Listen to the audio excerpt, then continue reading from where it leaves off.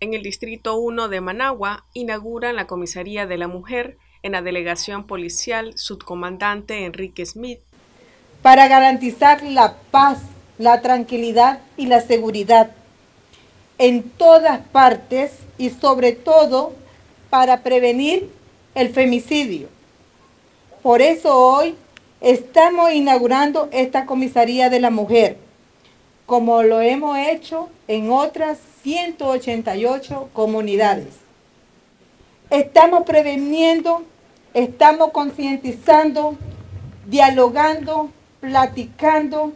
Queremos familias sanas, familias unidas, familias dialogantes, familias que sepan superar sus problemas y sus dificultades. Eh, aquí todas las mujeres pueden venir a acudir, ¿verdad? Cuando son violentadas física y emocionalmente, verbalmente también. Es la comisaría número 188 que llevará en, eh, llevará en honor a nuestra compañera Félix Zenobia Andino Cruz, de que, que ella es de Barrio Revolución y para nosotros es un gran honor que, que se le haga este homenaje. Eh, es un honor para nosotros como familia, porque ella fue, mi hermana fue una persona muy entregada desde antes del triunfo de la Revolución Popular Sandinista y después del triunfo de la Revolución Sandinista hasta la fecha. Para Noticias 12, Gloria Campos.